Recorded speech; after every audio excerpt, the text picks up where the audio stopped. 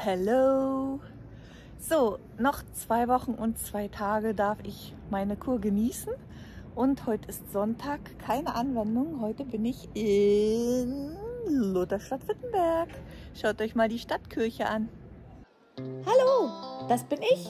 Ich heiße Jana. Und ich liebe es, um die Welt zu reisen, fremde Kulturen zu entdecken und exotische Tiere zu beobachten und durch satte grüne Regenwälder zu wandern. Irgendwann kam dann auch Werner dazu, mein liebevoll ausgebauter Citroën Berlingo XL, mit dem ich Europa erkunde. Ich habe alles ganz alleine ausgebaut, Bett, Toilette, alles drin. Abonniert meinen Kanal, um bei meinen Abenteuern dabei zu sein und viel Spaß beim heutigen Video. Ich suche eigentlich eine sonnige Ecke, wo ich einen Kaffee trinken kann. Aber überall ist hier Schatten.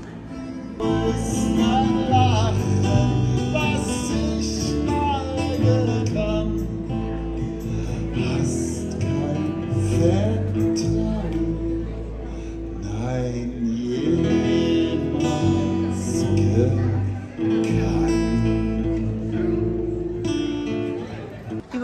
gerade ein Markt aufgebaut.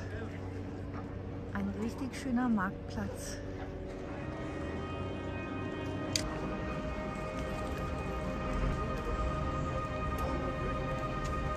Ich hau mich weg. Schaut euch mal die Schlange am Eisladen an. Richtig schön der Marktplatz hier.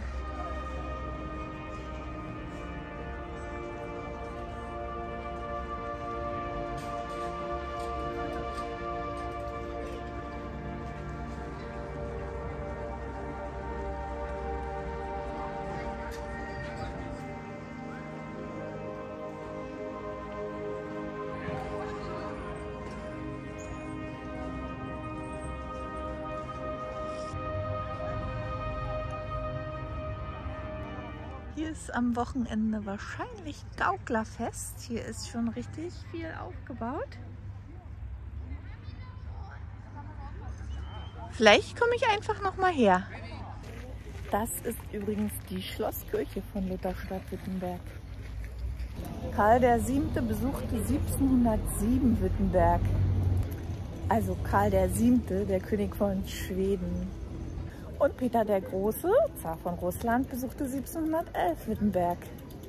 Und Werner von Siemens war auch hier, und zwar als Leutnant 1840. Alexander I., auch ein russischer Zar, besuchte 1805 Wittenberg.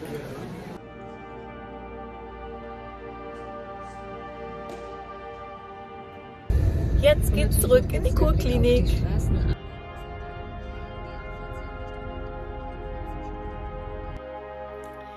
Schaut mal, ich bin zurück in meinem schönen Zimmer in der Kurklinik. Hallihallo, heute ist Tag 16 meiner Reha und mir fällt die Decke auf dem Kopf in der Kurklinik. Und darum habe ich mich heute wieder ins Auto gesetzt. Da steht Wenner. Und ich bin zur Elbe gefahren und zwar dieses Mal erkunde ich Torgau. Ich bin schon ganz gespannt, ob es hier auch so ruhig ist wie in Bad Düben.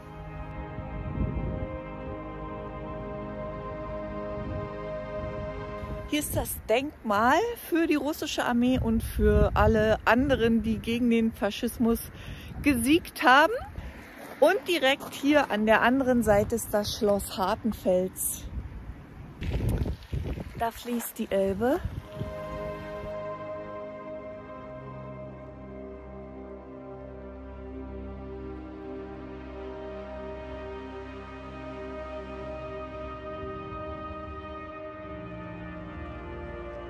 Das ist das alte Zollhaus. Da wird aber gerade gebaut. Hier ist das Schloss nochmal aus dieser Perspektive. Wow. Schaut mal.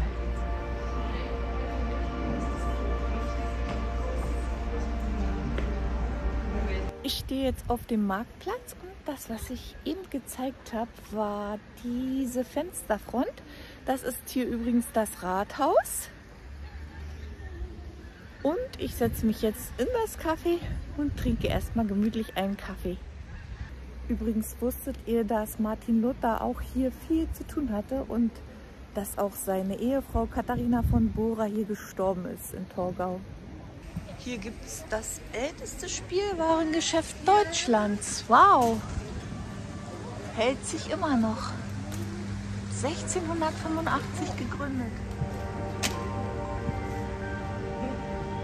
Ja, da bin ich auch schon fast durch.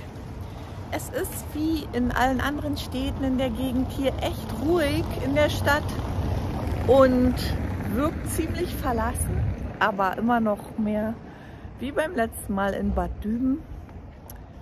Und ja, dann gehe ich wieder zurück zum Auto. Da ist es, das Stadtwappen. Und schaut mal, was ich jetzt gefunden habe.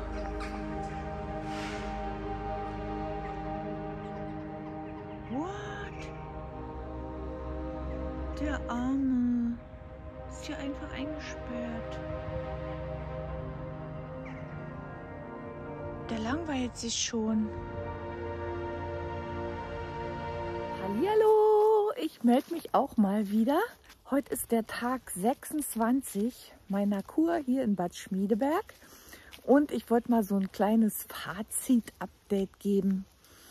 Ich bin hier heute unterwegs, wie immer, seitdem ich hier in Bad Schmiedeberg bin, im herrlichsten Sonnenschein. Es scheint eine sonnige Gegend zu sein.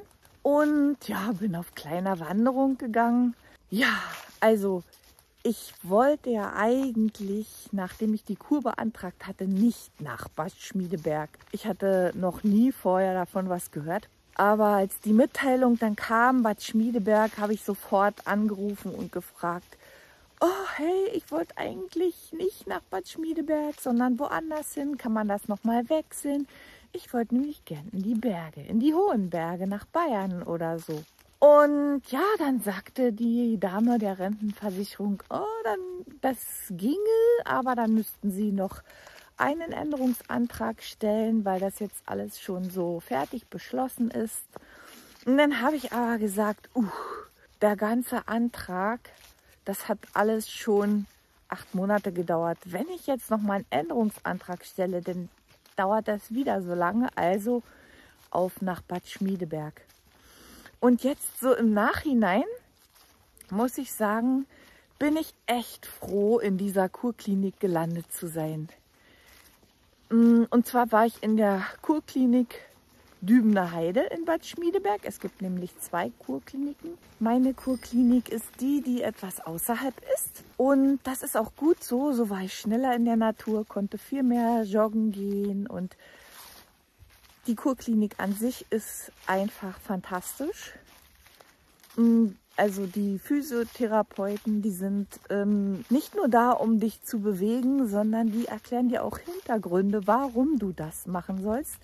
So ist man hinterher eigentlich ein kleines bisschen schlauer und ich glaube, die Wirkung, dass man sich auch mal aufrafft und zu Hause ein bisschen sich bewegt, dehnt und so weiter, die ist viel größer, wenn man das bisschen Hintergrundwissen auch noch hat. Und das wurde halt alles vermittelt. Es gab Vorträge. Ähm, ja, also ich bin eigentlich rundum zufrieden. Was heißt eigentlich, ich bin rundum zufrieden mit meiner Reha. Ich habe echt Erfolge. Ich bin viel beweglicher. Es geht mir besser. Und ja, also wenn jemand von euch die Möglichkeit hat, gerne hierher nach Bad Schmiedeberg in die Klinik Dübener Heide. Das Umfeld hier, die Natur ist jetzt ein bisschen langweilig für Abenteurer. Aber wer jetzt nicht unbedingt immer auf 3000 Meter hohe Berge kraxeln muss, der kann auch hier gut wandern. Und so ein paar kleine Berge kann man hier auch finden. Da geht es nämlich ganz schön bergab. Und die Heide ist tatsächlich wunderschön hier.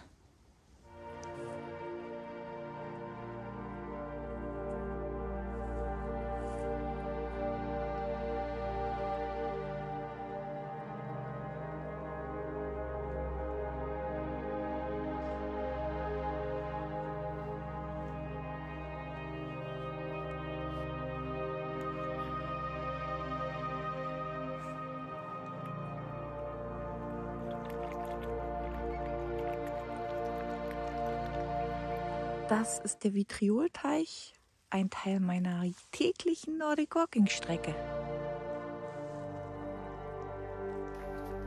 Hatte ich euch eigentlich jemals den schönen Blick zur Kurklinik gezeigt? Wenn nicht, dann mache ich das mal jetzt. Das ist hier mein Highlight. Der schönste Weg, den ich eigentlich jeden Tag gegangen bin. Das ist praktisch eine Allee und mit ganz vielen Birken.